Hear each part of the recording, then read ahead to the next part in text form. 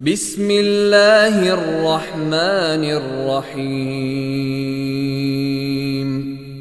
In the name of Allah, the entirely merciful, the especially merciful. لإيلاف قريش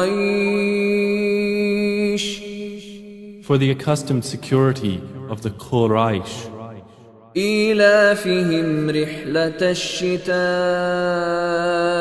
والصيف